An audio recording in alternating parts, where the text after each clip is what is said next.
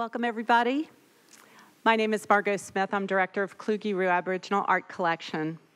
Welcome to the Beyond Dreaming Symposium on behalf of Kluge-Ruhe and our partners in this endeavor, the Institute for Global Humanities and Cultures, the Embassy of Australia, and the Vice Provost for the Arts.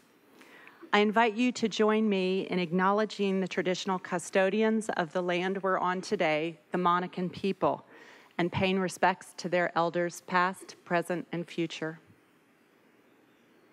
It's my pleasure to introduce Jody Kielbasa, Vice Provost of the Arts, a true champion for the arts at UVA. Please help me welcome him.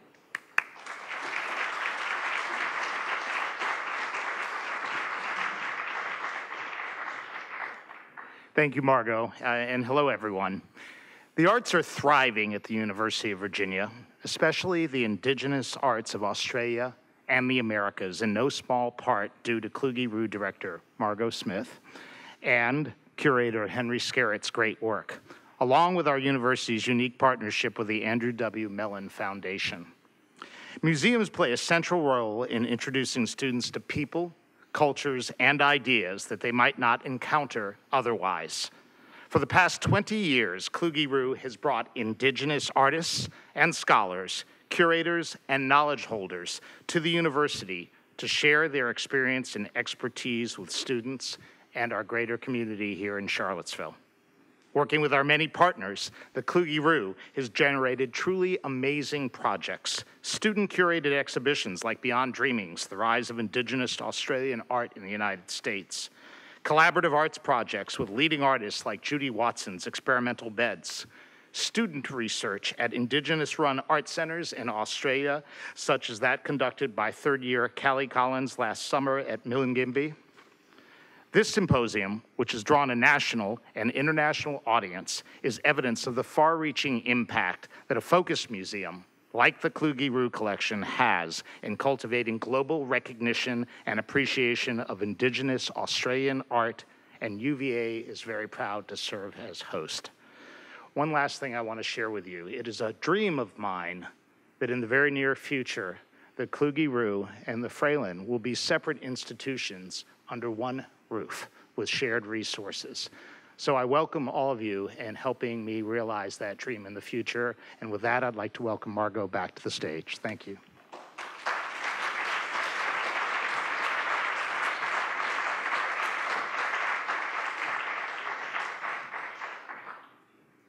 Thank you, Jody. I share that dream. Um, in 1988, the exhibition Dreamings, the Art of Aboriginal Australia at the Asia Society Galleries in New York catapulted Indigenous Australian art onto the world stage. Dreamings was the first major introduction of Aboriginal art to American audiences and represented a turning point in its international reception. Anthropologist Fred Myers describes it as the moment when Aboriginal art emphatically became fine art. Dreamings also signaled a radical shift in the way Indigenous artists and communities were represented in the modern museum. This symposium celebrates three decades since Dreamings, reconsidering its historical moment and examining its legacies. We're so grateful to all the participants who have taken time from their busy lives to join us for a few days of lively conversation about Aboriginal art. The symposium grew out of an exhibition at the Kluge-Ruhe Collection curated by nine graduate students as part of a course last spring taught by Kluge-Ruhe curator Henry F. Skerritt. They are Lucia Columbari, Cecilia Gunsberger, Eliza Hodgson, Audrey Lee, Clara Ma, Eleanor Newman, Kelvin Parnell Jr., Lauren Van Nest, and Megan Walsh. When you join us at the Kluge-Ruhe for the reception tomorrow night or the program on Saturday morning, you'll see the result of their efforts at the exhibition Beyond Dreamings, The Rise of Indigenous Australian Art in the United States. And that's on display until July 7th, so there's ample time to come back and savor it at a later time. There are many people to acknowledge and thank for contributing both to the Beyond Dreamings exhibition and to this symposium. Lenders to the exhibition include Greg Castillo, who's here with us, John and Barbara Wilkerson, and the Wolfenson Family Foundation. Sponsors at UVA are the Institute for Global Humanities and Cultures, the McIntire Department of Art, the Office of Graduate and Postdoctoral Affairs, particularly Deans Ed Barnaby and Philip Trella, and the Vice Provost for the Arts. We're exceedingly grateful to our outside sponsors, the Embassy of Australia and Maningrida Arts and Culture for their contributions as well. We're particularly indebted to our symposium speakers, Balang John Mawurndjul, OAM, Djon Mundine, OAM, Chris Anderson, John Carty, Francois Dussart, Murray Garde, Eleanor Newman, Maia Nuku, Terry Smith, and Peter Sutton for taking time from their busy lives to share their knowledge and experience with us. Some of these notable people, through their involvement with the Dreamings exhibition, set the foundation for Aboriginal Australian art in the United States and are, by extension, responsible for the very existence of the Kluge-Ruhe collection. Others are leading academic and curatorial vo voices um, for global contemporary Indigenous art today. Several of them advised Henry's students in the curation of Beyond Dreamings, and they've been outstanding colleagues and friends to the Kluge-Ruhe collection in numerous ways over the past 20 years. At this time, I'd like to introduce Dr. Karenne Wood, an enrolled member of the Monacan Indian Nation and Director of Virginia Indian Programs at Virginia Humanities. Karenne holds an MFA in poetry and a PhD in linguistic anthropology from UVA, She's worked at the National Museum of the American Indian as a researcher and at the Association on American Indian Affairs as a repatriation specialist. In 2015, she was honored as one of Virginia's Women in History. Karenne is a Mellon Indigenous Arts Initiative faculty fellow and the author of two poetry collections, Markings on Earth, which was published in 2000, and Weaving the Boundary, which was published in 2016. So please help me welcome Dr. Karenne Wood.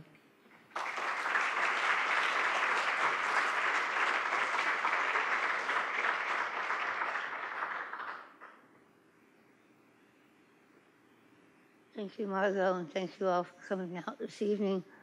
Um, my role tonight is to welcome you as a member of the homeland tribe, the Monacan people, whose existence has been here for thousands of years, and to bring you into our circle of community to say thank you for coming all this way to share your knowledge with us. And so first, I'd like to offer a prayer. I do that by telling you what I'm going to say in English, and then I'll say it in my language, which is to say, we bring everybody's mind into a good place uh, together, into a kind and healing space. We forget all of the troubles that we have. We leave them outside the door. You can pick them up on your way out if you would like. Um, but in the meantime, I want to speak to our Creator and say, Higun e kia sawanti wa imikas masi kambi tos na inahambe. Nike wa aing kwa kasi e nenu yesa. Monkey ko ayu kan yoksa e oma bitoka hele nenes. Kawaya kong spewa no sai. Ika amai inyoma ya posti aing. Ika amai kong spewa gidaya. And what I'm also doing is acknowledging, in addition to our relationships to one another, our relationships to the beings around us, the geographic formations, the mountains we call our grandmothers. You know, this is our home place, a very special place. And for us, it is not a place to extract resources. It is a place of reciprocity where we come together to give back. So I hope that that's what you'll be able to do during this symposium. Thank you.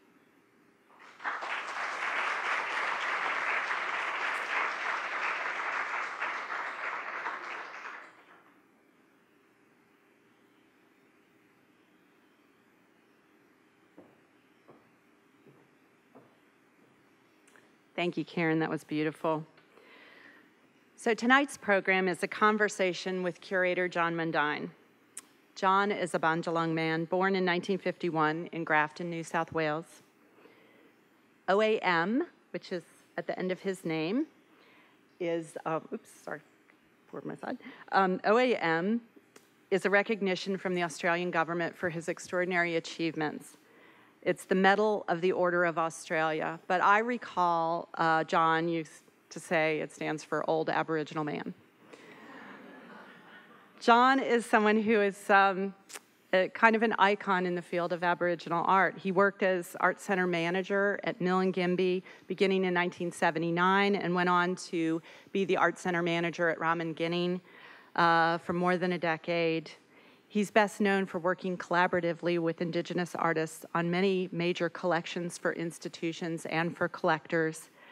Uh, in, most notably, the Aboriginal Memorial, which many of you have seen in person at the um, the National Gallery of Art uh, in Canberra, a 1988 installation that we'll talk about a little bit later, but also Native Born, a collection of 200 paintings for the Power Institute, and that was put together in 1983, and the Kluge Collection beginning in 1989. Tonight, in addition to talking about these accomplishments, we'll learn about some of Djon's more recent projects working with communities and descendants on collaborative um, programs exploring their family and history with groups of and working with groups of artists orchestrating performance artworks. Djon has always operated on the cutting edge of Indigenous Australian art. He's a prolific writer and carries much of the history of the movement in his very sharp memory. He's a cultural icon in the Aboriginal art world, and we're delighted he's here tonight. Please help me welcome Djon Mundine.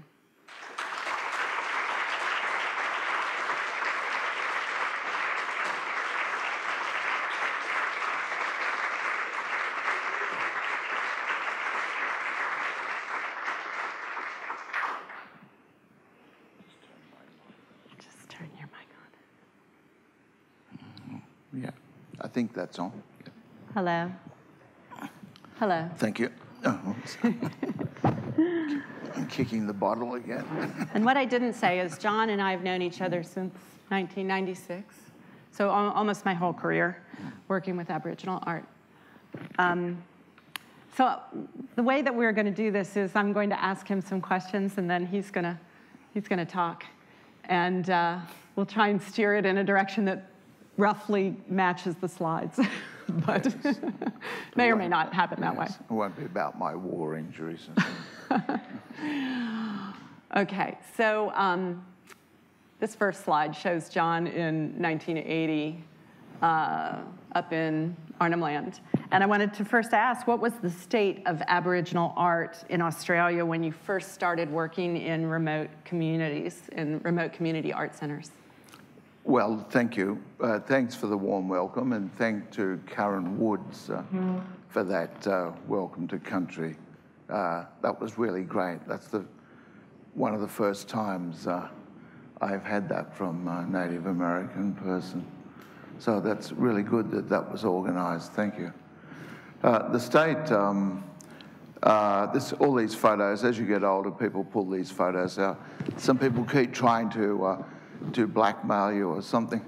Um, uh, when I came uh, to work in uh, the field of Aboriginal art formally, because I was, a, was involved in Aboriginal art and cultural practice or cultural thinking uh, from the day I was born, in fact.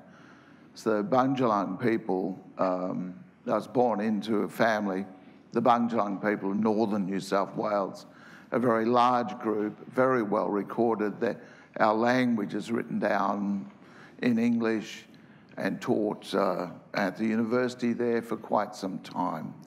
Uh, it's a very um, well known Aboriginal group. So when I, I actually came to work in Aboriginal art um, in a commercial sense or in an academic sense, like all of you are here for, I gather, uh, that uh, about the mid 70s. Uh, the government of that time had uh, set up a company uh, to, um, to market Aboriginal art so that it wasn't being sold as tourist art for sixpence or whatever it is, for a dime or a nickel. They, it was sold to bring it into the Australian art, fine art world, and then by that into the uh, world of fine art uh, creation that were worldwide. And that was their brief um, to do that. And I came there, and it was like one of those comedy things where somebody gave me a hat and a, a desk and a sign that said, You're, We'll make you our operations manager. and uh, sort of like that, like someone from the Wizard of Oz giving me, we'll put a medal on you or a name. Of course, what it meant was I was the storeman and packer. So I used to pack every, all the artwork up um, and wrap it up and make sure it was taken away by truck or plane or whatever. And that's really how I came to work there. Now, the position I took up, just quickly, the posi- position I took up in Milingimbi uh, is called an art and craft advisor in those days. And uh, that uh, position was normally uh, held uh, on these Christian missions, which largely these communities were Christian missions. Uh, that they, one of the missionaries on that mission would actually market the art paintings and so on that were made by the Aboriginal people. Uh, those uh, churches would be given an, an, amount of money to uh, feed, so to speak, to feed all the people that were on their mission, or to, or to go, go, towards feeding the people that were on their mission and looking after them. Uh, that um, uh, any other money they could raise, uh, any artist or local Aboriginal person who could paint or weave a, a mat or a basket, etc., that would be extra money that they could then uh, buy things from the uh, store at that mission. And so this particular peculiar painting, uh, photo, uh, somebody sent me from, uh, who was at Milingimbi in 1980, 81, uh, David Ritchie actually, or the um, head of the uh, Sacred Sites Authority in Darwin now. Uh, his wife was a teacher there, but we received a funny letter from a French naval museum in La Havre. Excuse my French. Uh, and uh, they wanted to buy a bark canoe.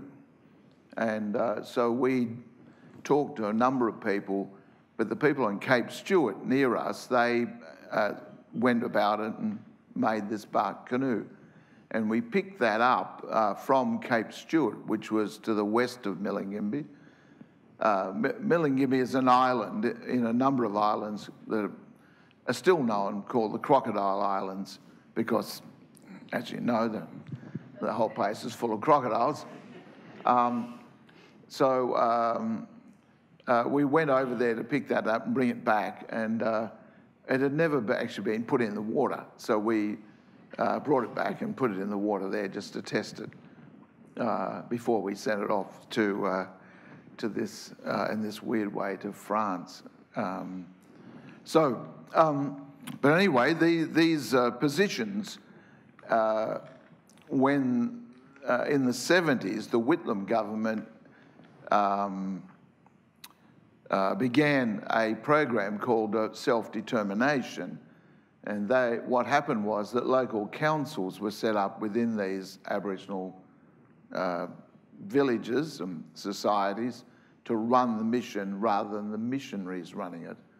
And that was a big step. And when they did that, they formalised the position in the early 70s of being an art and craft advisor. It became a paid position then instead of um, a missionary just doing this in their spare time, so to speak.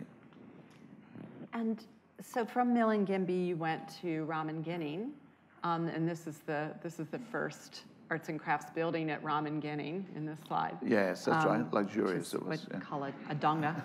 um, and so you have written about different phases in Aboriginal art, um, kind of different different periods. And just now you've talked about a couple when when missions when missionaries were kind of intermediaries between artists and the um, the public that was buying the artworks, and then the arts and crafts um, company that was started by the government. And but when you started working in Ramingining, there was you know some of the things that you managed to do really kind of brought Aboriginal art into more of a national spotlight um, through programs like Perspecta. And so I was just curious about you. Want, do you want to go through those six phases very briefly? Well, the six phases. Somewhere I wrote down, but other people have said this before. and published this uh, somewhere else too, but I said there were six, my, it's a personal view of the six phases in the history of Aboriginal art. And it's basically how the Australian population, the non-Aboriginal Australian population reacted to uh, Aboriginal art and Aboriginal people. So you have a, um, uh, in fact, when the British arrived in Australia, there were at least about 250 different language groups uh, across the country. There were 250 different societies uh, living in different geographical uh, environments across the country and carry on a, a cultural practice, an art practice uh, as well that was different. So I came to the thing uh, to draw up my six phases of Aboriginal art, and they were the first phases from the beginning of time when Aboriginal people were, were on the continent of Australia. That's the creation of the world, so to speak, which is something 60, 70,000 years before the present, um, up until about the uh, end of the Second World War. And after that, there were, there were collections being put together before that. There were collections being put together by various ethnographers um, or anthropologists. I don't, don't, let me split hairs on de defining the differences between those people. Um, but uh, they, uh, every, I think the Museum of Victoria had a collection of Aboriginal artworks. Uh, the South Australian Museum, of course, had a collection of Aboriginal art and artefacts, and same, the same in Sydney and Brisbane.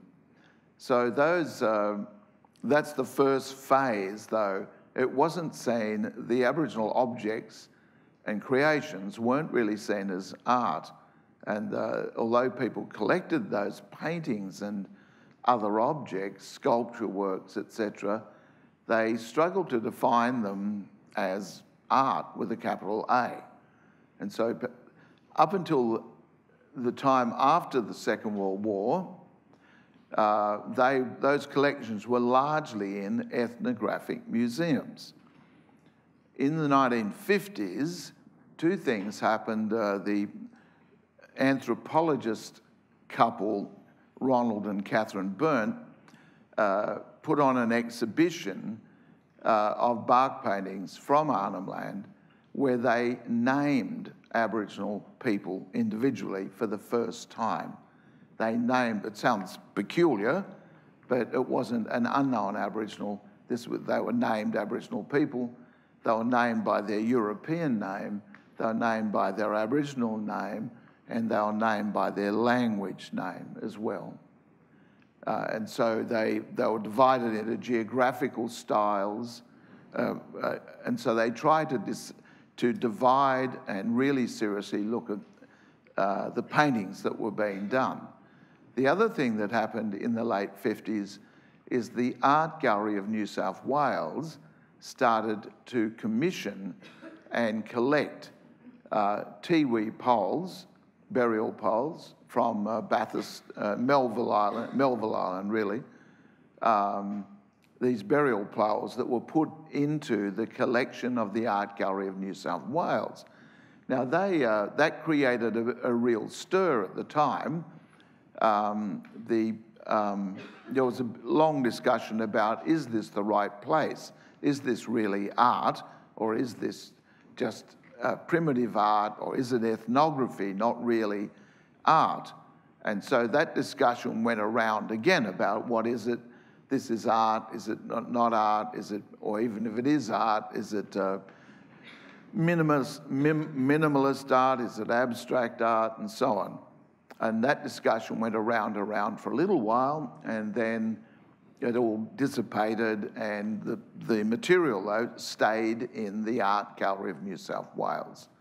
So Aboriginal art came to be shown in the, at that time, the major art gallery in Australia as art, albeit that was called the, in the primitive art gallery, as that was mm -hmm. placed, with uh, New Guinea art, as, as some, a collection of New Guinea work work from New Guinea that was also placed in that room. So that's the second phase, is that uh, recognition of Aboriginal artists as individuals. And a, a, woman was actually in that Berndt collection exhibition. There was a, a female painter in that collection. So that's a very big step uh, in that. Uh, the third, third phase, that all that art remained there. And when uh, the director who initiated that, the deputy director who initiated that, left, um, the whole, it was there. No one wrote particularly about it. Uh, no, the discussion died down again, mm-hmm. and it was just there. Uh, it remained there. Um, the third phase is the 1970s phase of Western Desert uh, painters from the Western Desert taking designs of ground installation art that they did on the ground and on their bodies, and they uh, started to paint those images, those compositions, onto canvas using acrylic paint. And that's from the 1970s, early 1970s on that debate then went around again. Is this real art? Is it tourist art? Is it just, um, uh, is it, um, you know, cerebral art? Is it, is it something from a, uh, abstract thought? Is it, uh, is it just designs, patterns, or whatever? Um, and that went around for quite a long time, but by this stage, the Australian art world had moved on quite a bit in its appreciation of different styles of art. At that stage in the Australian art world, the biggest argument that was going on that came to physical punches, you know, people would actually get really drunk at openings and have big punch ups over whether this paint, whether they were, uh, what was the correct art the style of painting was whether it was abstract or whether it was figurative. And that was the hugest argument. That's the biggest argument that was going on in the white art world, something really important, you know, uh, in the world, uh, as against all the other things that were happening in the post-colonial things that were happening in Africa. There were wars going on. There was a war going on in China uh, and so on people, millions of people were being killed here and there all over the world. But the most important thing was we don't want to paint that or photograph it. We want to argue about whether I'm a figurative painter or I'm an abstract painter. Uh, they were the most important ego things. So that's the third phase. The fourth phase is into the 80s when post really post-colonial writing and ideas start to come to Australia and in a very evident way. Because uh, by the 80s, in 1978, Edward Said had written um, Oriental, his Orientalist publication, Orientalism, and by the early 1980s, Homi Bhabha had written about uh, um, hybridity uh, and so on, how we're all hybrid, really. So, and a number of exhibitions took place that recognised the Aboriginal people that weren't living in traditional communities, weren't practicing traditional religion, um, and weren't even speaking their own language in that sense. These, these people had been to Western art schools, they'd then used Western art styles, Western art materials to state their Aboriginality, their position or their heritage, their legacy of uh, being of Aboriginal descent. So that was in the 1980s. Uh, by the end of the 1980s, these people uh, then began to form their own, their own uh, artist cooperatives, Boomalli Aboriginal Artist Cooperative, uh, to sell their work because they couldn't get into commercial galleries uh, commercial galleries didn't take them up as the latest movement of Aboriginal art. Uh, so they set up their own arts cooperative and began to curate, uh, market, and write about themselves um, in the early 80s. By the, uh, the fifth phase in Aboriginal art is after that, when they formed that cooperative, they began to curate their own shows and write about themselves, albeit in a very minor way. But they, uh, they then began to write and control their representation as much as they could. So that is the fifth phase.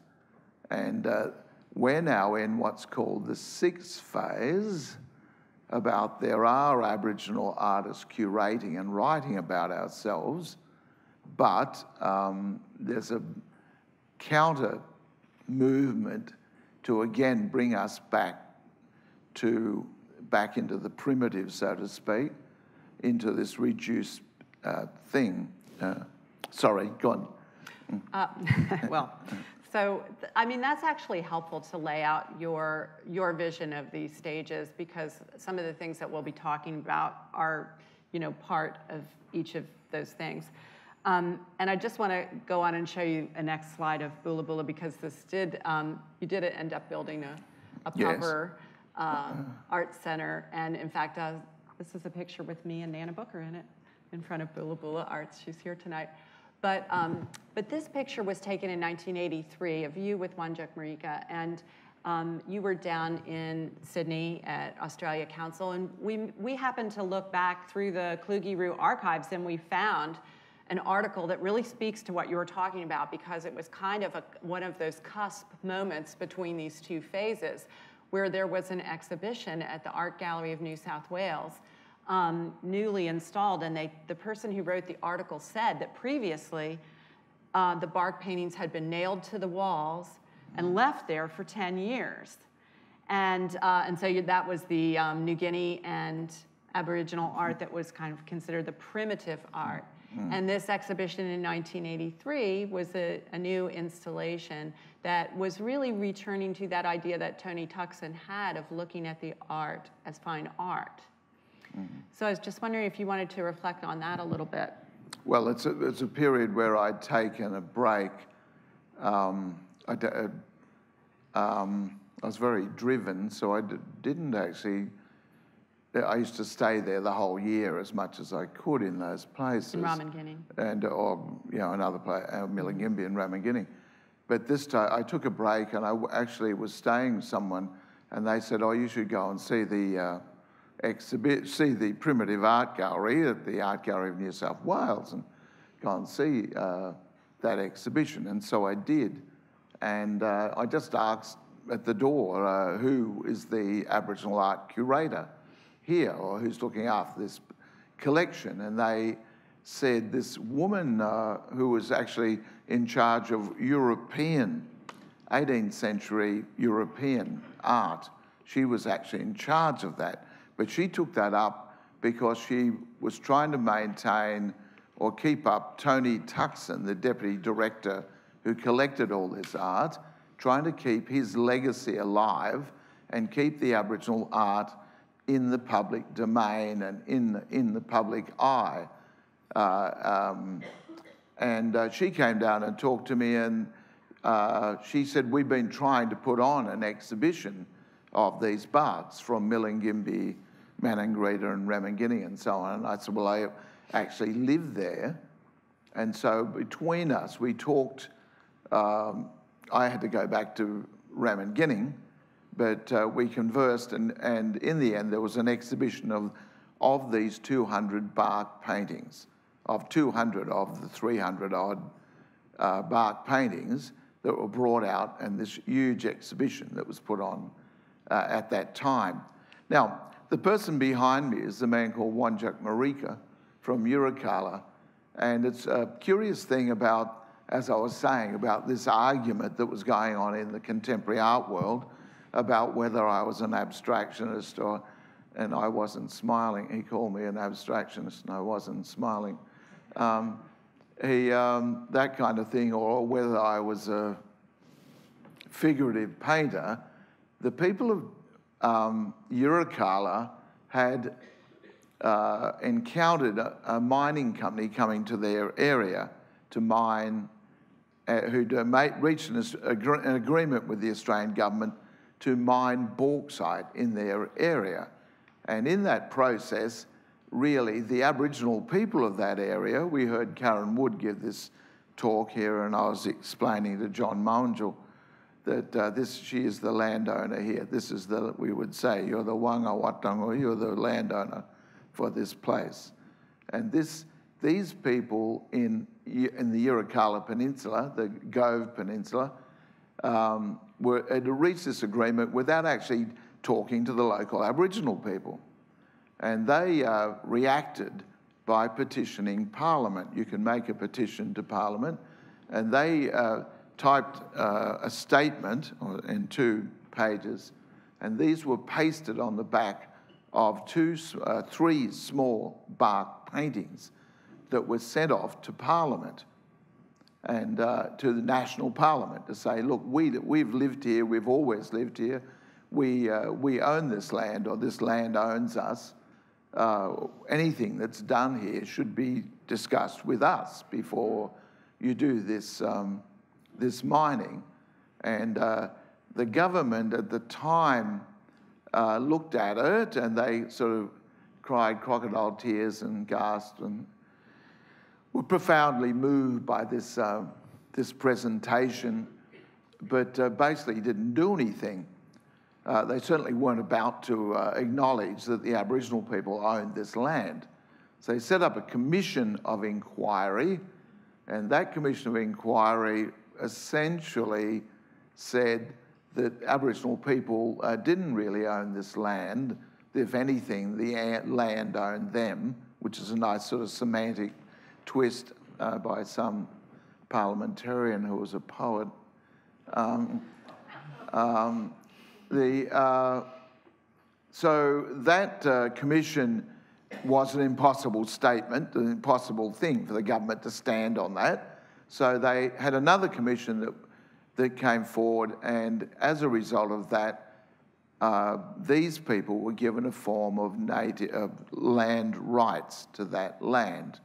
And the mining company then reached a form of contractual agreement that they would pay them money for, for mining on this land. Uh, they would, Aboriginal people would have control over the direction of that mining that their particularly sacred sites would be respected, uh, etc., to a certain degree. That all that is pragmatically, given the power inequality, that that was um, a real, really big, important movement, and people used these art pieces, these three bark paintings, as that statement. And Australians generally wouldn't think that they have great art pieces that say things, or in that time. Uh, they wouldn't have had said, we, we don't have a Guernica, or we don't have any of these great political statement paintings. In fact, well, they did, these three paintings, that then uh, forced a change uh, in legislation that gave Aboriginal people certain rights. Uh, this was made into a film by Werner Herzog, this struggle called Where Green Ants Dream, mm. which is about this struggle, and the Wandjuk Marika, yeah, actually in as well, and, yeah. and Roy Marika. Well, that, I mean, Sorry. that's a great lead into the next slide, which is the Aboriginal Memorial, because uh, again, the, the Yirrkala Bark Petition, 1963, um, you know, really kicked off that very public land rights um, struggle, you know. And 1988, which was Australia's bicentennial, or the bicentennial of uh, the arrival, permanent settlement by the British in Australia, mm-hmm. um, many Aboriginal people felt, you know, what's there to celebrate? And um, so this was the response that came out of Ramingining with you very much uh, organizing and um, you know conceiving of it and implementing it. So can you describe what the Aboriginal Memorial is and how that happened? Well, it came out and sort of tied into the story of the Dreamings in another way. The, um, in 1988, as it came up, that was the 200 years of the coming of the British to colonise Australia and attempt to exterminate Aboriginal people. Um, it's sort of like what happened in the United States, I gather, with your 200 years of Columbus coming here, and a similar debate was taking place about, well, what was it really a great benefit that Columbus had came here? Was it really that important? Was it that important the British had come to Aboriginal Australia? So I'd um, actually, by the 1980s, Aboriginal art was appearing in major Australian institutions as a form of contemporary art, of, of the part of the art life of Australia uh, by the 1980s. So Aboriginal art had appeared in the Sydney Biennale at least three, four times um, by, the, um, by 1988. Uh, it also appeared in some international exhibitions, uh, albeit small exhibitions, to uh, Southeast Asian countries and so on. Um, an Aboriginal, I think, an Aboriginal art exhibition had been to China by that stage too. So as it approached in uh, Aboriginal circles, it was debated about whether the coming of the British was anything to celebrate. Of course, we agreed that it wasn't. But how do you deal with this uh, event that's going to take place, that's going to take place, that's been sponsored by the Australian government to enormous amounts of money? They were building new buildings, they were building new roads. Every new road was called the Bicentenary Highway every new building was a bicentenary, this or that. And there was going to be a Biennale of Sydney in uh, 1988 called the Under the Southern Sky, was going to be called. Um, and all these artists were making 200 of this, 200 of that, 200. They were making portraits of 200 famous women, 200 famous colonial bakers, you know, whatever, 200 meat pies, uh, and so on uh, literally, uh, some of the 200 went to that length uh, of absurdity. And we had an Australian uh, who was having his 200th schooner of beer, a Prime Minister, uh, who was very famous for drinking. Um, and yeah, he was most probably going to have his 200th, 200th schooner of beer. Um, so that was what was going on. So we decided, I went to a number of meetings in Sydney. I lived in Ramingining, but I was going back and forth uh, put, to put on commercial exhibitions in Sydney and Melbourne and other places. And I went to a number of meetings of Aboriginal people in Sydney about what we were going to do. What, how could we make an impact that would draw attention to everything? Um, and uh, the, um, the director of the Biennale uh, told, uh, I was told to go and meet him, and I went and met him, and I'd had this idea of a forest of burial poles for many years, and uh, uh, uh as a way to display these poles was to show them um, like in a forest, to make, put up a, two forms of curating, of presenting things, you either put up a critical mass, some things operate more effectively as a critical mass, a number of objects rather than just one, or the opposite of that is, is the solitary uh, iconic object, where the object, there's this one object that's put up with extreme reverence as a, almost like a holy object, uh, the iconic object, or this critical mass approach. And with the critical mass approach is to find out, well, what numbers uh, will make this critical mass. And of course, with the bicentenary, it was 200, 200 years, 200 burial poles. And he took to it uh, straight away as an idea. And uh, uh the idea is that the British coming, and other people, but the British mainly, coming to Australia was 200 years of dispossession, disempowerment, disbursement, and uh, basically mur murder and, and, an attempt at annihilation on a large scale. And that the scale of that annihilation attempt every year is becoming more and more apparent as more and more research is done about how many people were really killed. And the latest figure is that there was, in Queensland alone, there was 60,000 Aboriginal people killed since the coming of the British. Uh, that was more than all the Australian casualties in the First World War.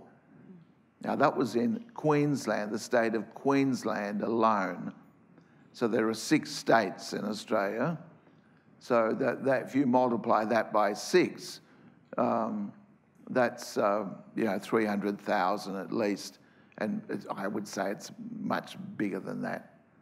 So this statement, I decided people were boycotting having anything to do with the Biennale of Sydney, to do with the bicentenary, and I decided that absence would not be noticed if we weren't going to be in any of the things to do with the, the bicentenary celebrations that some people wouldn't even notice it. Most people, I thought, just would not even notice it. They would say, oh, the Aborigines aren't, no one's going to go like, oh, we're the Aborigines. Uh, really, they just, uh, they're going to have these grand balls and these grand feasts, uh, dance parties, and basically, that's literally what the celebration of the coming of the British ended up. A, uh, there was no specific, specific legislation that gave certain dispossessed or disadvantaged people more power. Uh, they didn't increase any of the rights of women, particularly. They didn't uh, give more money to the poor. We didn't fix up the health system or hospitals or anything particularly. It was just basically an endless period of parties and parties and parties. And my memory is that that's when we started to drink champagne, uh, more so than beer. Um, instead of shouting six beers, we'd get a bottle of Moet Chandon instead. Uh, we discovered what champagne was. So, Go sorry. on. Just want to um, point out, because I've moved on to the slide of uh, the installation at the National Gallery, what the early installation. So this, this was acquired after the Biennale by the National Gallery and on permanent exhibition there for, you know, Well, more it or was, less. it was a, then. this, I believe, curating is, a, is all curating and all art really is about a conversation. And uh, don't worry, I'll shut up in a minute, but you will get a break. So we're having a Uh, But uh, the, uh, not you, but um, um, just uh, before these people go to sleep. Um, but um, uh, all art, I think all art and all, of all forms is a, is a conversation. It's to stimulate conversation.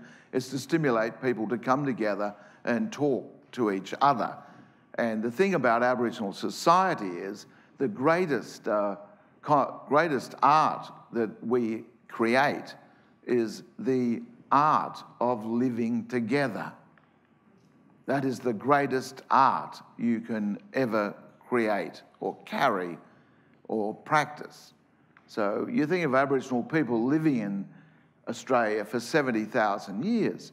Uh, we didn't build skyscrapers, we didn't have a mass Mustang to drive um, or whatever. We weren't drinking Moet Chandon.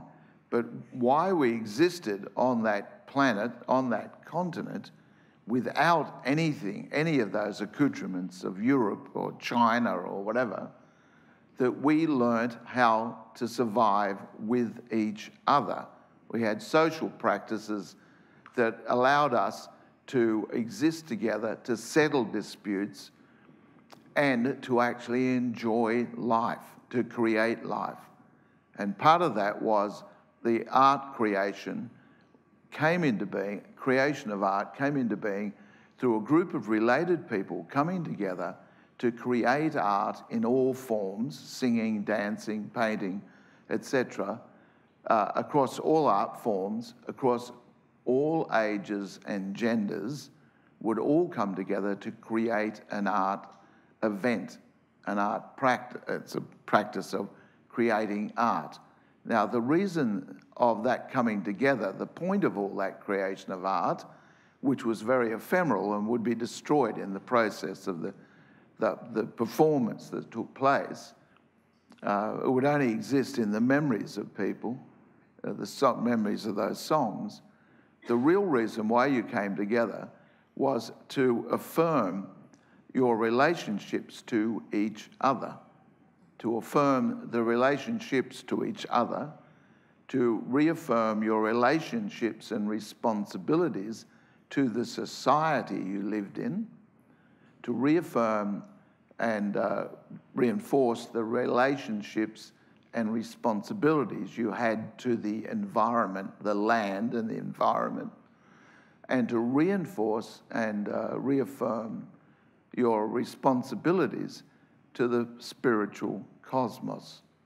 And that's what that art, that's how real art, I think, is made.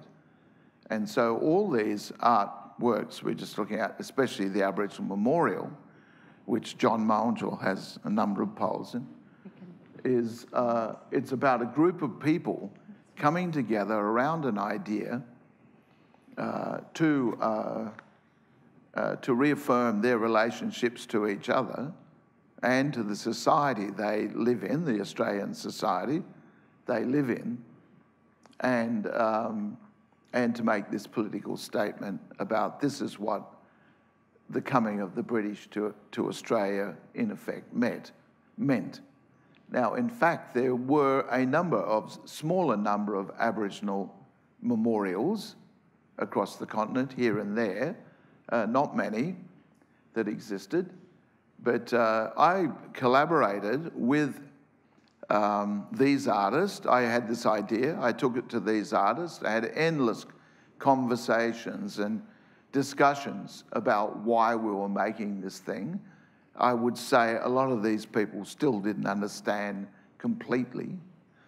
Uh, there is a belief, though, that in Arnhem Land there was a false belief that people there existed and were able to exist without a fight, without being threatened with kill, being killed.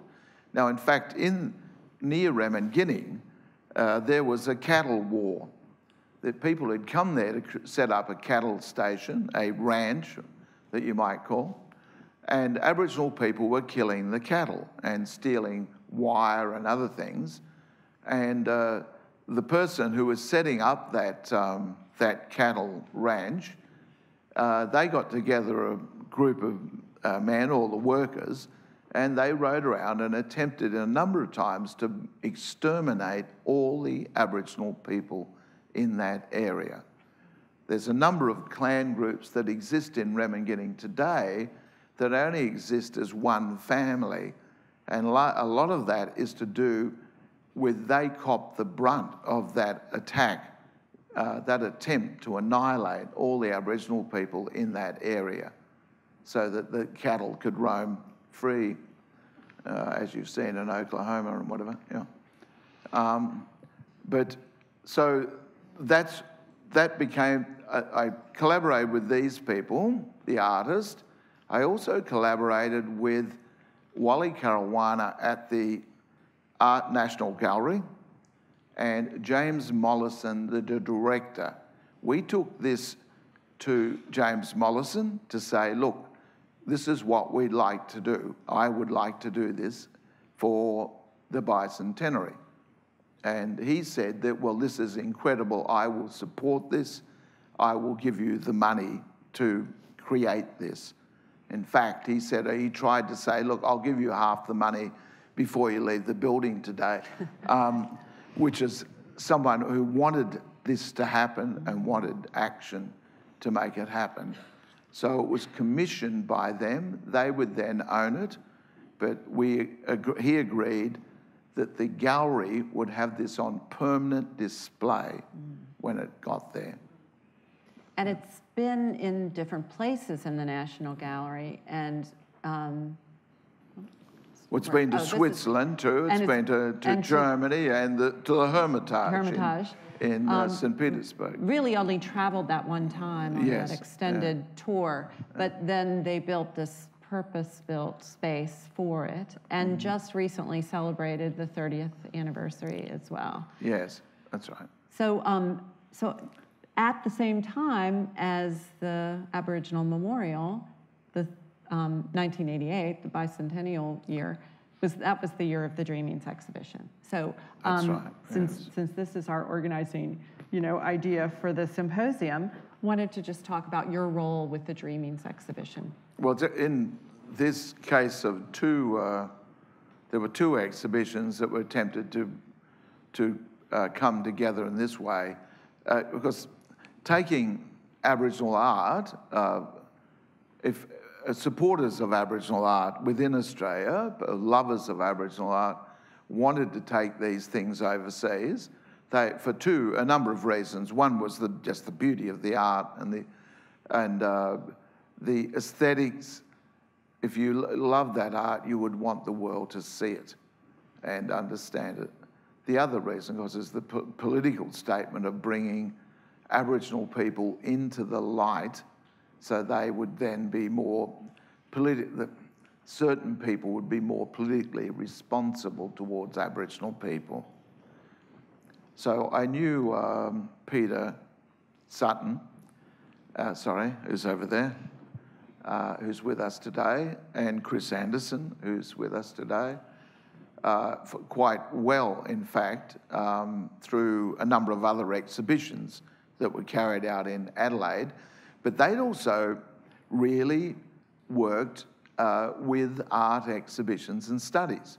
They created lots of exhibitions that were about particular Aboriginal art practices uh, to bring that into the light, to make this thing, to this ingenuity and intelligence and imagination that Aboriginal people displayed in these creations into the light. So rather than people saying Aboriginal people are Stone Age people or unintelligent, um, and in this really racist way, uh, that they've published a number of exhibitions and catalogues before this time, or just about this time. The 1980s was a very fertile time for uh, all forms of Aboriginal creativity, um, and certainly at the South Australian Museum. So they put up this proposal through a way that they'll explain tomorrow, I think, about how it actually happened this proposal to take an exhibition to New York to the Asia Society Gallery. And uh, they put together a selection of work, and we were, Guinea was very fortunate in having a couple of, uh, of senior Aboriginal artists in that selection of work. Uh, so they, uh, uh, I don't say they, Peter um, Sutton arrived one day with Andrew Pekarik, who was the curator of the Asia Society Gallery, to meet the Aboriginal artist and, um, and have this conversation and make the invitation, etc., etc. So that, that, that discussion took place with every other artist in the work. They were very um, diligent in talking to the artists they wanted to put in the show uh, and how it was going to be displayed, the reason behind these particular works. So it's a very intense uh, con um, conversation that took place with the Aboriginal artists in these remote areas. Um, and then, as it turned out, they then uh, wanted the, artists to come to the exhibition opening. The other, there's three rules. My, I have three rules to do with curating Aboriginal uh, art. And one is that you have to bring the artist to the exhibition. You'll see lots of exhibitions, in fact, where the artist isn't present. And I think curators have always got to remember that they aren't the star. Um, uh, they, are, they didn't make the art. Uh, these, this other poor bugger did, uh, called an artist, uh, the starving artist. Um, uh, we were pretty cool then. Yeah. Uh, um, so they, um, that's one thing, to bring the artist. The second rule is that you have to pay the artist a fee for using their work in the exhibition. And the third thing is that you have to publish a catalogue that remains behind after the exhibition comes down. And this, this is what this group, the uh, group of largely anthropologists at the South Australian Museum, they were putting this together and they created um, a really magnificent catalogue. They brought the artist, arranged to find a sponsor so that they could bring us to New York. Uh, Dolly Granites and these other people from Yuendumu uh, also came, um, and we were paid to come. And there's another story there which I won't bore you with, anyway, not about the payment, but uh, we were given a check, uh, a reserve, what we call the reserve bank check. Uh, and before we went to go back, we were looked after and paid money to eat and drink and be merry, etc., smoke, uh, and buy clothes, etc. And then when we were finished with the exhibition opened, this really grand opening, lots of people came to it, including John Kluge, who saw the show. Mm-hmm. Yeah. Yes. And that's why we're here now. He then became enamored with Aboriginal art and wanted to start to collect it. He said, oh, this is the, the art practice of the, of the time to, to collect this. But uh, when we were then given our checks, all right, this is your pay, and we went back, we arrived back in Sydney and it's a Reserve Bank check. So there is a Reserve Bank in the middle of Sydney. And so we went to the Reserve Bank and said, Can we cash this check? Uh, this is us. And we all had passports. So were able to show this is us, this is who we are. And the guy behind the counter kept saying, We don't know who you are. And uh, we're saying, Well, this is our passport, this is us. Like, see the photo? Look, this is us. Yeah. And they said, Oh, but you could have stolen those. And um, I said, Yeah, that's right. We could have steamed the photo off and went through that, you know, like that. We're, we're like Russian spies. We could, sw- we could falsify these passports and whatever. And then I said, Well, it's got the signature. And they said, um, That mightn't be the Reserve Bank's signature. And it went on like that until I could have punched these people. So um, we then left uh, that place and I went to the Art Gallery of New South Wales where people knew me and said, Look, we're having this trouble. And they said, Look, just give us a minute. You sit down and we'll get some tea and coffee and biscuits and cakes. And they brought out this feast for us. And then he said, Look, uh, go down to our bank. Uh, just to, I've told them who you are. Just show them who you are, and they'll give you the money in cash. And that resolved that uh, mm. thing. And that wasn't uh, particularly the museum's problem. You would think that people would have been a bit more open to actually paying mm. their own checks. Mm. So this is us buying clothes. And, this uh, is a talking at the symposium. Yes, talking at the symposium. It really wasn't. We were really embarrassed because it's the first time we'd been to the United States. Uh, we'd come across the Pacific. Uh, we really suffered from jet lag uh, and struggle to get through this talking thing that we are supposed to be there and be happy and and uh, and really full of knowledge and whatever and quoting algorithms and whatever, um, and family charts. So, but we really struggled with this. And uh, one day I think we should make a film. I want to make a short film about this trip because it turned out in the end there was uh, Chris and Peter and uh, Fred Myers and Francoise Dussart. And there was myself, I was the art advisor, and the art advisor from Yuendumu was there. And so there was an, art, an anthropologist. There's that joke about an Aboriginal family as a man, a woman, and a child, and, and an anthropologist. Uh, and now in the 80s, the joke is, of course, the, the, uh, the modern Aboriginal family is a man, woman, and child, and a photographer. Um, but that was what it was like. Every artist virtually had their own anthropologist. But the beauty of that was that these anthropologists and myself, we could actually converse in language with each artist. So there were five languages or something being spoken.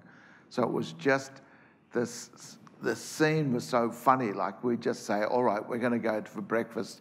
And where do you want to go? And so everyone had to speak. There'd be five conversations going on. What do you want to eat? Sort of thing. And of course, these people from Ramingining will say, well, we don't know. We've never been to New York before.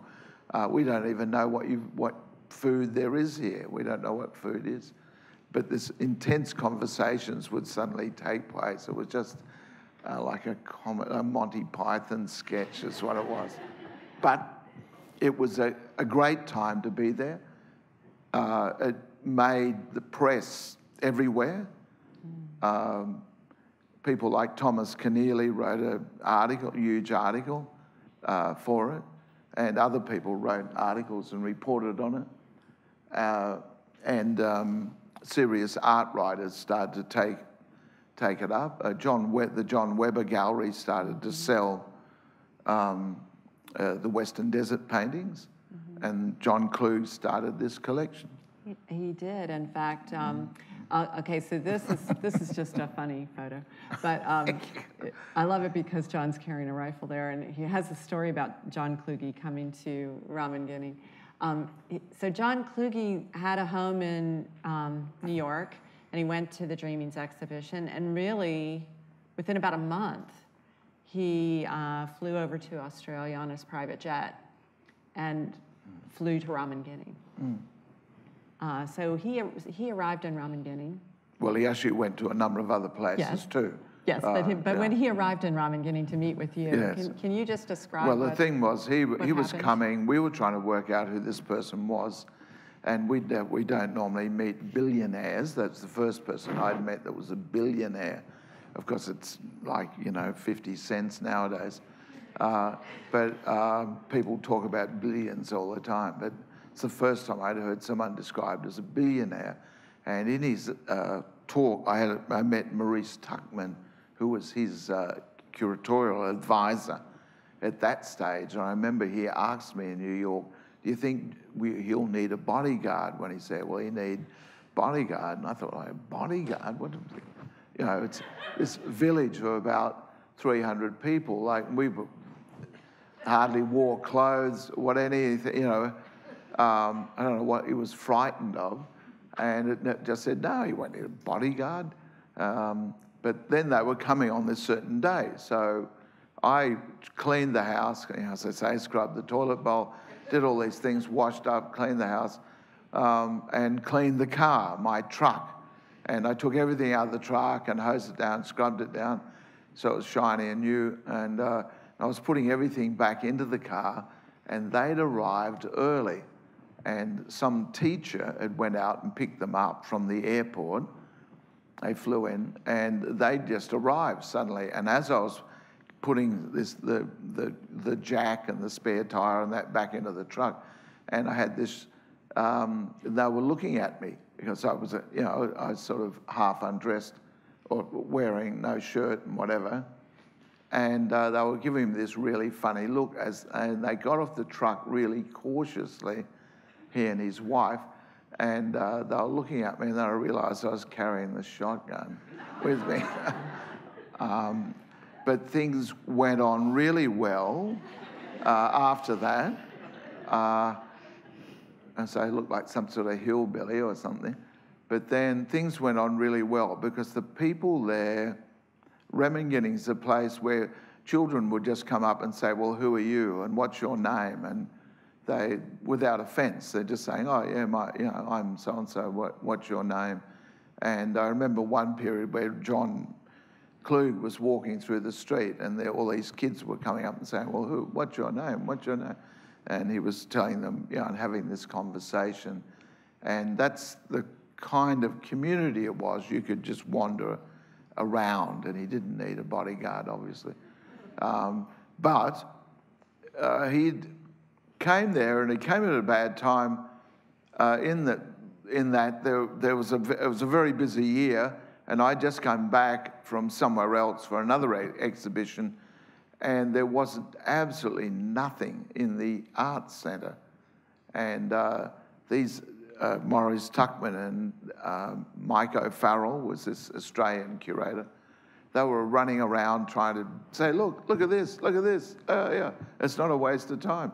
You know, it's uh, not a waste of time. And then I looked over and we, we lived in, the, uh, we operated out of that shipping container and uh, we had to have a, a rock to step up into it. And we used to have flour drums, these drums, metal five gallon drums, and we'd put a cushion on it, and that was our seats uh, because we were operating at a very high level, of course. Um, it's a very sophisticated place.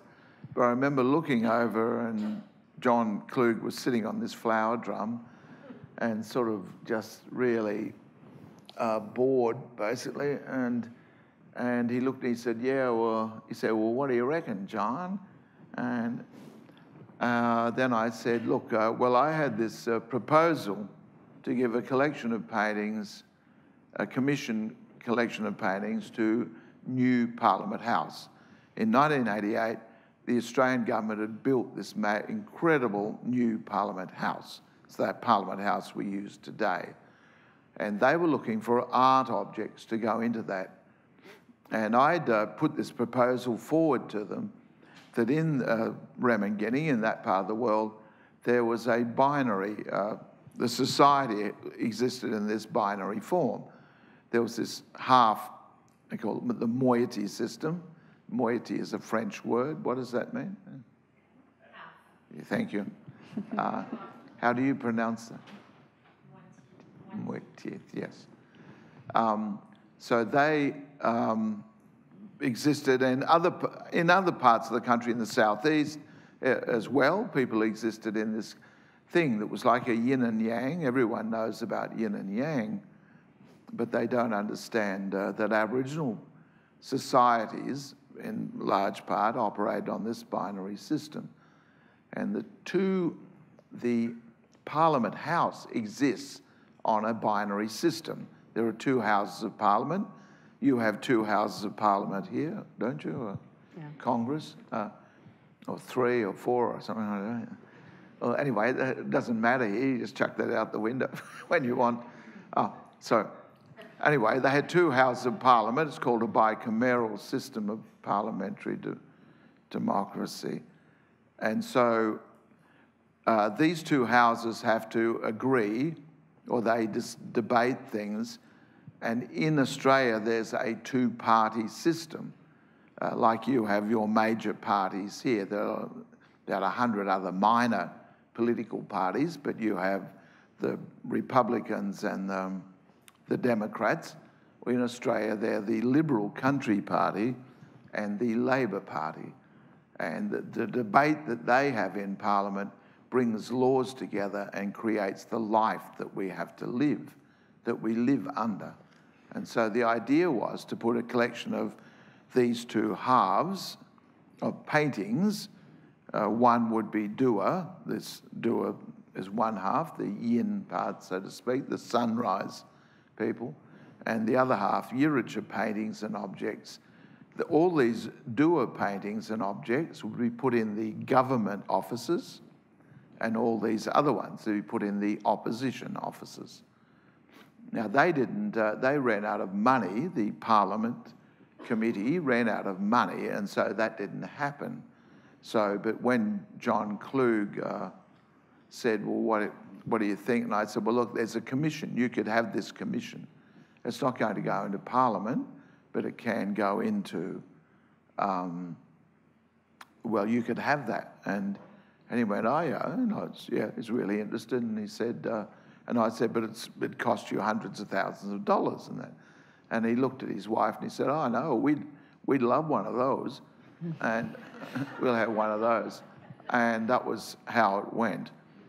I, I, uh, and I think that you've told me, um, and maybe you've written this as well, that there's also a little bit of natural competition that exists between the moieties. And people, when they brought in their artworks into the art center and, and displayed them, like this work by Andrew Margalulu, other people would see that and they'd think, oh, well, I can, you know, I can do my biggest, best painting and bring that one in. And so the quality of the paintings that were produced for this commission were really quite extraordinary. And yes, really I think it's a thing about general patronage of anything. Uh, all great artists in history have had a patron, you know, any music or anything, paintings or whatever you can think of, or plays or whatever, they've been under a patronage of somebody when artists believe that they can do anything and work to any scale. They will if they uh, know that they will be commiserate, um, they'll be recompensed with by financially, and they can just practice and expect to be um, to be uh, to have a living, and so th- that's what this commission did. Mm-hmm. So these artists, when uh, they, they made larger paintings, uh, they'd made larger paintings before, but they really made these beautiful paintings. Uh, this uh, painting by Mickey Durham um, is really a body painting for a particular ceremony, but this is the first time I've ever seen this on a flat surface, like a, a flat painting surface. And that happened as a result of this commission. Uh, so different innovations and um, different expressions came out of that. I want to move on just a little bit because we're getting close to time. And um, this, this is also just a picture of us all working at Morven, John Kluge's property on the catalog that came out of um, his collection, Art from the Land and John speaking at a symposium we had in 1997, shortly before the collection was given to UVA. Um, and then um, we have talked just a, about a couple of other exhibitions that have been abroad um, from Australia. Native Born was shown in Australia, but then also came back to the Asia Society galleries mm-hmm. much later. Um, and Aratjara um, was another mm-hmm. one. And I just mm-hmm. want, wondered if you wanted to share a couple of thoughts very briefly about yes. um, the difference between Dreamings and Aratjara or? Um... Well, a number of, as the bicentenary came up, as I said, there were people um, who were supporters of Aboriginal art. There, quite, there were a number of people who thought they should put large exhibitions together for that bicentenary and tour them overseas. Um, uh, the South Australian Museum and that team of people got their act together much quicker and more, and I think they were more focused on what they were actually doing in one way. Um, two Aboriginal people were in charge of the Aboriginal Arts Board, Gary Foley was the director, an act, political activist, they both were, and Charles Chicka Dixon was the chairman. Now, they made a sort of a very strong statement in the lead up to 1988. They basically told the Australia Council that they, their Aboriginal Arts Board would not fund uh, any bicentenary projects. And they said, Our strategy is to take our um, take Aboriginal art overseas, to put exhibitions together and take it overseas. Because they were taken out and shot the next day, of course. But uh, so to speak, they were sacked, uh, and uh, that uh, revolt of sorts didn't go anywhere. But they involved a German, Swiss German artist called Bernhard Luthi, who was in Australia at the time, and he went back to Germany to, um, which is where he lived, he went back to Germany to take this message and try to find people who would be interested in taking an Aboriginal art exhibition overseas uh, to speak about our side of the history of the British coming to Australia. Uh, they couldn't get that anything to happen in 89 or 88, 89. But in 1989, there was a bicentenary, another bicentenary exhibition happened called The Magicians of the Earth at the Pompidou Centre. Now, that exhibition um, had a lot of Aboriginal artists in it. In fact, uh, John Mawurndjul, I think, was in that too, I think, yeah, in The Magicians of the Earth. And so was uh, the two men, uh, uh Jimmy Wululu from the Dreamings exhibition was also in that Magicians of the Earth exhibition. So Bernhard Luthi took, organised to take a group of artists from Yuendumu and they installed a, a sand painting, as it's called, um, in that, in, as part of the Magicians of the Earth exhibition. While he was there, he met a lot of other art curators of like mind who said, We would love to have an Aboriginal art exhibition. So he went back to Dusseldorf and they negotiated with a number of other curators in institutions in Europe. And eventually, though, the crux of it, the real story, was he'd went to school with a, there was a guy he went to school with who now worked in a German bank in Dusseldorf. And they had lunch one day, and that man said, We will fund mm. Aratjara to happen and they virtually gave nearly 2 million Deutschmarks, which was quite a large sum of money in those days. The Deutschmark was a really solid currency, and uh, they he supported to the tune of I think it's 1.8 million Deutschmarks they put up. They uh, were able to convince the Kunstsammlung Nordrhein-Westfalen in Dusseldorf, the art collection in Dusseldorf to take the exhibition. They convinced the Hayward Gallery in London to take the exhibition, and they convinced the Louisiana Museum in Denmark uh, to take the exhibition. Now, those three uh, are very contemporary art spaces. Uh, I know we won't get into debating about contemporary and modern and what other things. We can save that for say tomorrow. that for tomorrow. But they're, they're very contemporary art spaces. They were, only, they were only built in the 1960s. And they were very cutting edge. Like Joseph Beuys used to teach in Dusseldorf at the art school. Uh, Penck, that uh, German uh, figurative painter, he used to paint, teach at the art school. And the Hayward Gallery, of course, was the place of contemporary art in London. And the Humlebæk, the, the Louisiana Museum, is, I think, the greatest contemporary art space I've ever been in, really, as an art museum. So they were all very contemporary art places.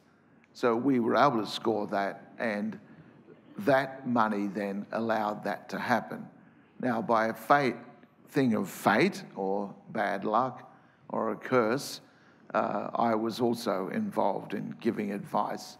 I, I, my uh, advice was more almost companionship to these people at the South Australian Museum who knew what they were doing and that they were operating at a level commiserate with what I would do, uh, but they did all that themselves.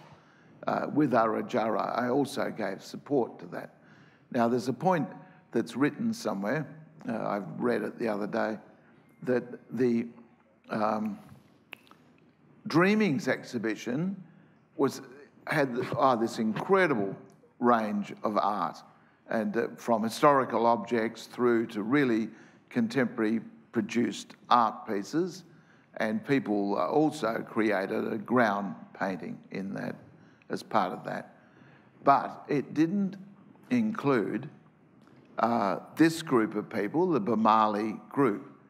They, they as I was saying, that uh, fourth phase of Aboriginal art, when people in urban settings started to make art, and they came together to form this cooperative um, called Boomalli Aboriginal Artists, uh, because to, to curate their own shows in their own space.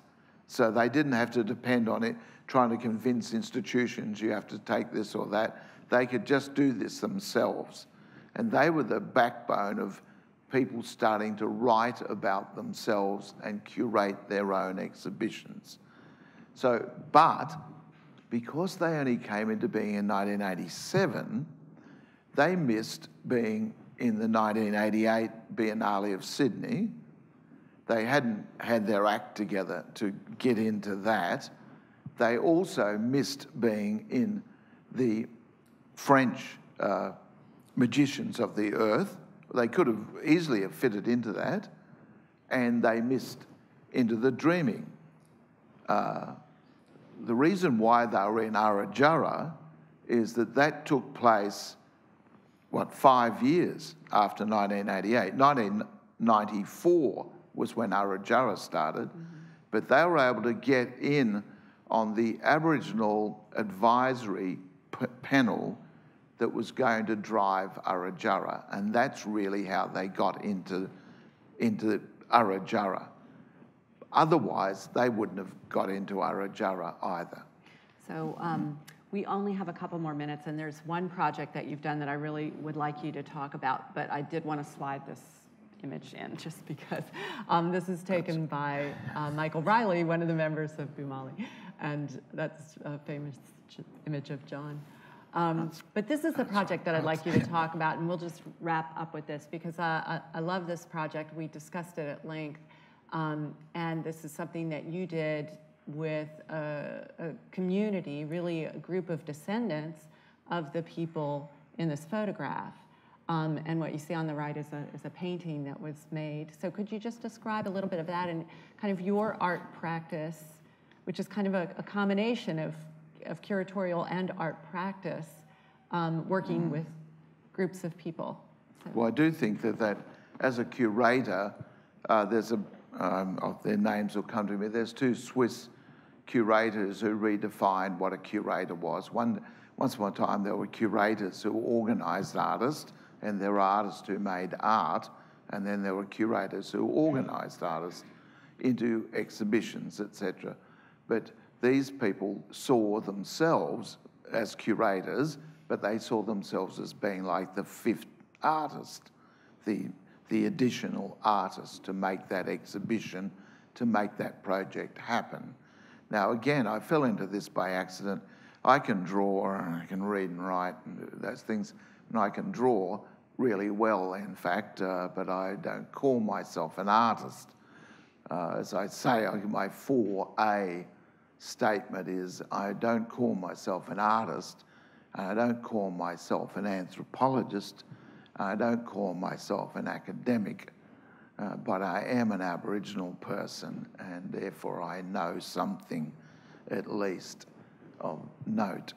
So this is this place is came out of a project. I used to use this photo on the left to show people that in colonial times, before Aboriginal people got the vote, before Aboriginal people had the power to own property, before land rights was recognised, before Aboriginal people were really recognised, we didn't just sit around drinking and, and taking drugs and, and, um, and being mentally depressive. People actually strived to enjoy life. And they formed, they uh, formed, uh, anyway, formed uh, this band. Uh, they formed a band like that. And they used to make their own instruments. They used to actually make violins and uh, guitars and so on. And they would play at on res- at what you would call reservations. They would go and play, and they'd hold dances out under the night sky in the open uh, for that local group. Now, that band came from a place called Purfleet, and Purfleet is, has a reputation for being the, one of the most terribly depressed communities um, in Australia, one of the most. And uh, I came there and I had this photo, and I just said, Look, I've got this photo here. Uh, they said, We want you to do an, an art project. And I said, Well, I'm not an artist. And then they said, No, no, we really want you to do it. So I came there and I had the photo, and I said to them, are all these families, are they still here? That photograph was taken in 1909. And I said, are any of these families here? And they said, yeah, all these families are still here. Uh, they're, you know, they're big, they're in big numbers. So I went around and started to talk to people and said, this is what I want to do. I want to turn this black and white photo into a pointillist type painting.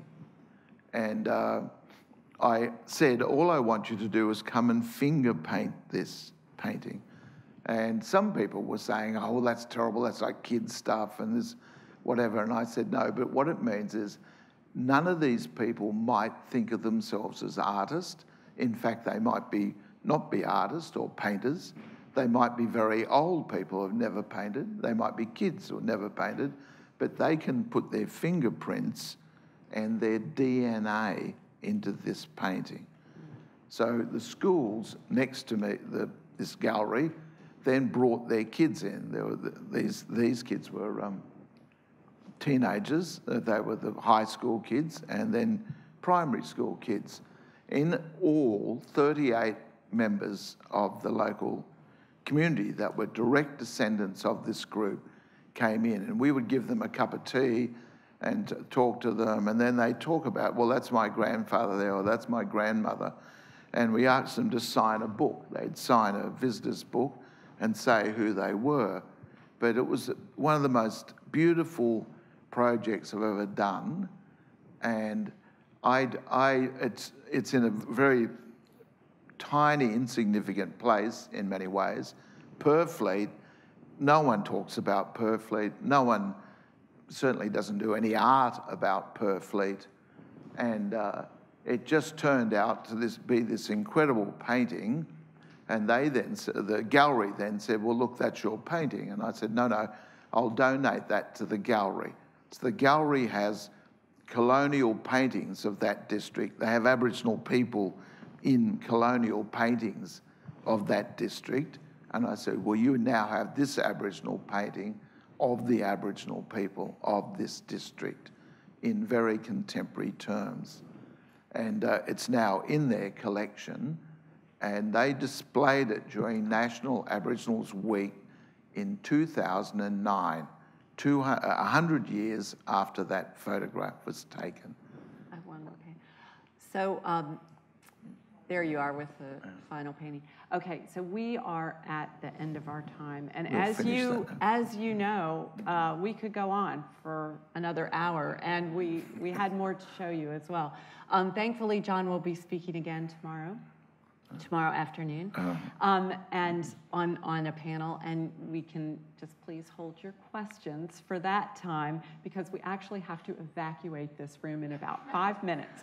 So I just ask for you your cooperation with that. But um, for me, it is such a joy to listen to Djon talk. His wealth of knowledge, the way that he has really eschewed personal recognition to work with groups of people and bring them together in collaborative um, art expressions and things that really draw attention to Indigenous people globally. Um, he's really made such a difference in the world of Aboriginal art over the past 40 years. And it's such a privilege to have him here with us and to learn from him tonight. So please help me thank Djon Mundine.